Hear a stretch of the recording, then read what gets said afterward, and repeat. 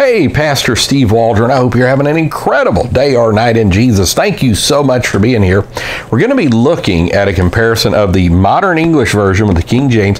This is a MEV parallel. I've done a review on this and done some other comparisons, a review of the MEV. I just kind of felt like just uh, go through since it's got a parallel Bible, some of you know major. We all the Bible's equally inspired, but you know more. Uh, recognizable passages of scripture something. So it's small print. So I've got my handy dandy magnifier out, which just makes the camera and Sister Waldron upside down. I don't know why that is. It's even upside down when I do that. Huh. So why isn't it upside down when I look here? This is one of the mysteries of the universe. Anyhow, let's get started. Genesis 1. 1 this is MEV. I'll start with the MEV, go to the King James.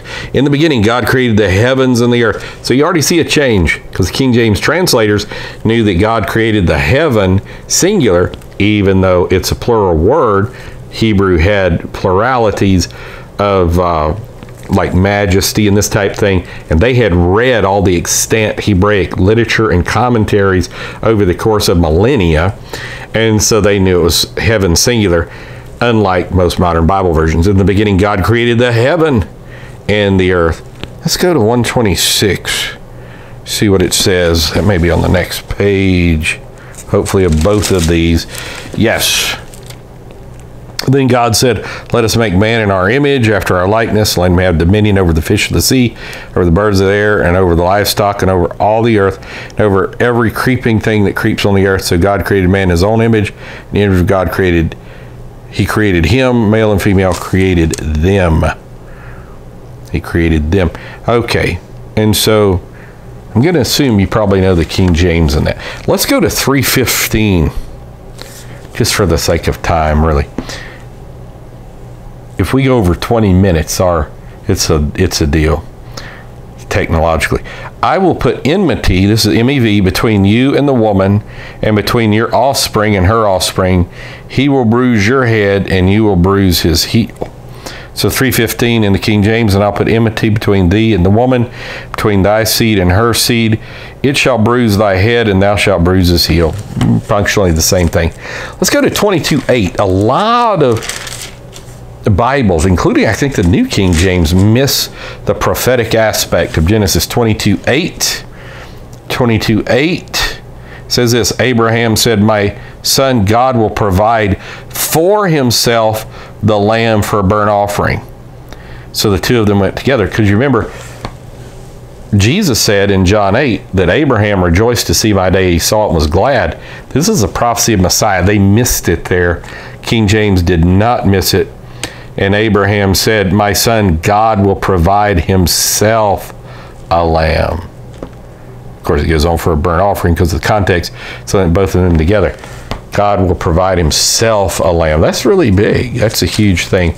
Let's go to 4910, which is kind of a, another prophecy of Messiah. 49 and 10. Let's see where we're at here. It's 49 and 14. 49 and 10.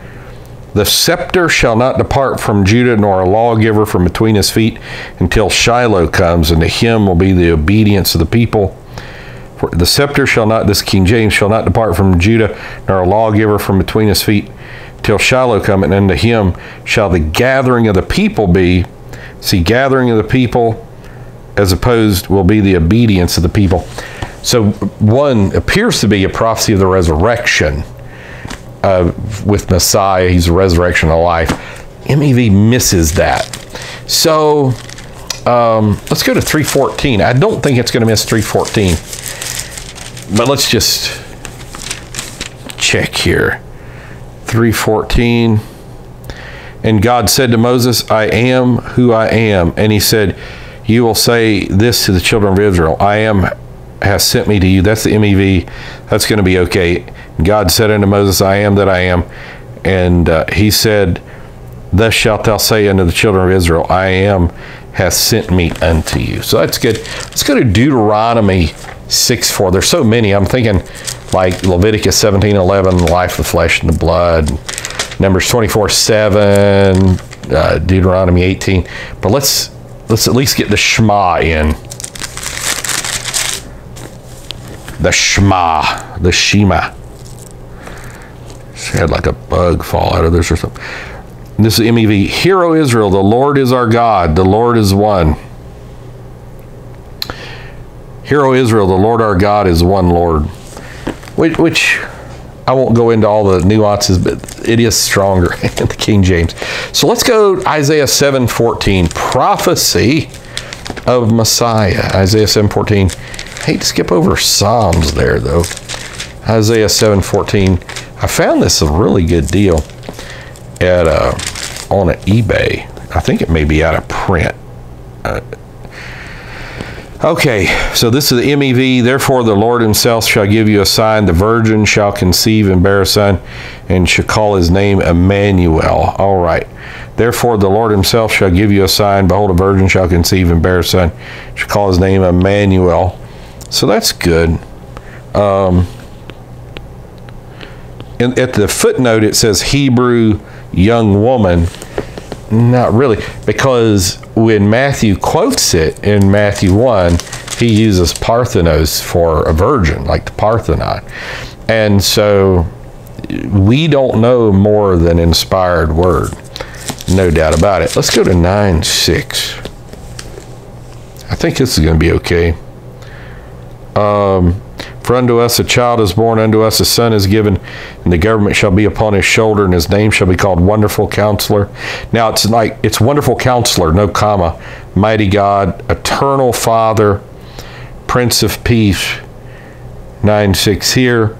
For unto us a child is born, unto us a son is given, and the government shall be upon his shoulder. His name shall be called Wonderful, comma, Counselor. That's the difference.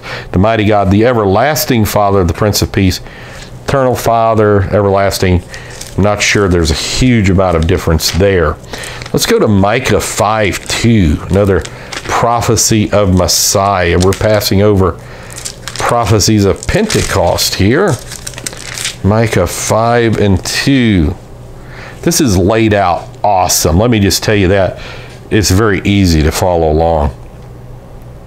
But you, Bethlehem Ephratah, although you are small among the tribes of Judah, from you will come forth for me one who will be ruler over Israel. His origins are from old, from ancient days. Now that weakens it much. I'll read the King James.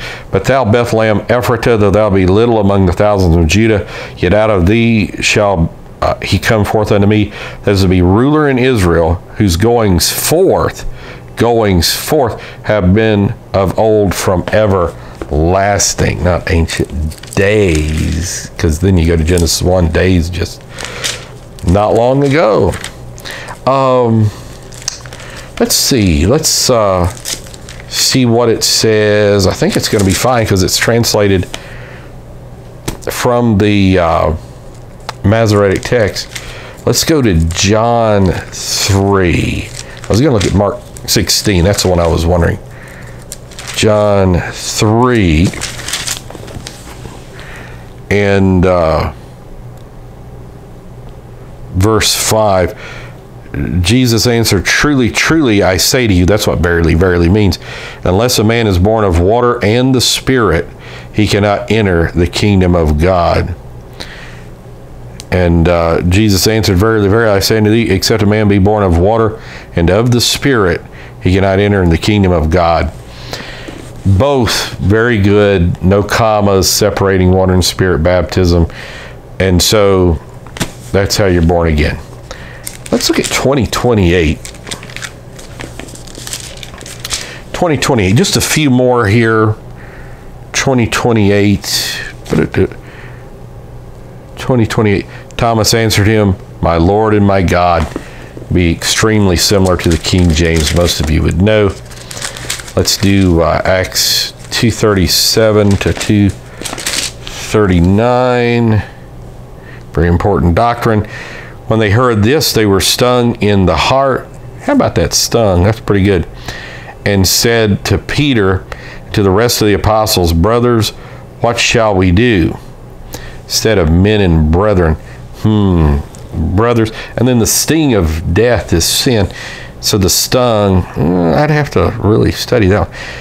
Peter said to him, Repent and be baptized, every one of you, in the name of Jesus Christ for the forgiveness of sins. I'd say remission is much more accurate, even though same Greek word. They had to use multiple Greek words for the same, for different English words. And that, and it's all about context. And thou shalt receive the gift of the Holy Spirit. Holy Ghost. Holy Ghost is stronger oneness term. Spirit of one departed. For the promises to you and to your children, to all that are far away, even as many as the Lord our God shall call. So I've already mentioned some of the differences there. Um, Colossians 2.9. Let's do Colossians 2.9. Colossians, I appreciate you coming along this journey with us. I get asked a lot for Textus Receptus Bibles that are easier to read than the King James. So MEV is Textus Receptus. Talking about Jesus Christ, for in him lives lives all the fullness of the Godhead bodily. For in him dwelleth, lives all the fullness of the Godhead bodily. And uh, you're complete in him who's the head of all authority and power, head of all principality and power. Yeah, that's okay. Let's see how it does, like on the subject of modesty. 1 Timothy 2. Um, 1 Timothy 2. Oh, I'm in 2 Timothy 2, which that's good too there is danger in proof texting. That's why I'm an advocate of reading your Bible a lot. Um, 2 8, therefore I desire that that the men pray everywhere, lifting up holy hands without wrath or contentiousness. See, doubting, that's totally different, really, isn't it? In the King James, in like manner also that women clothe themselves in modest clothing with decency and self-control not with braided hair gold pearls or expensive clothing but with good works which is proper for women professing godliness. Okay so let's go over here to the king james will therefore that men pray everywhere lifting up holy hands without wrath and doubting. So the doubting, contentiousness, that's totally different. Like manner also that women adorn themselves, clothe themselves is pretty clear in the MEV, isn't it? In modest apparel with shamefacedness and sobriety, not with broided hair. People would argue broided and braided, same thing. Or gold or pearls or costly or braid, but with becometh women professing godliness with good works. Interesting. Let's go to one more. First Peter 3. 1 Peter 3. Again, this is on the subject of modesty, some Pentecostal distinctives. Um, verse 3 Do not let your adorning be the outward adorning of braiding the hair, wearing gold, or putting on fine clothing, but let it be the hidden nature of the heart, that which is not corruptible, even the ornament of a gentle and quiet spirit. It's in the very precious in the sight of God. And then the King James, who's adorning, let it not be with outward adorning of plaiting the hair, which is totally different than broided hair or braided hair. Plaiting had gold intertwined in it or silver. There's archaeology of that. And of wearing of gold or putting on of apparel, uh, putting on fine clothing in the MEV. But let it be the hidden man of the heart and that which is not corruptible, even the ornament of meek and quiet spirits in sight of God of great price. So, you know, some difference, some I would consider very few things inferior to the King James. Obviously, being based on the Textus Receptus, it's probably much better than almost every other uh, modern translation out there. I'd love to compare this to the New King James sometime. But anyhow, God bless you. Thanks for being here. Fall in love with the Word. Jesus is the Word. Amen. Bye bye.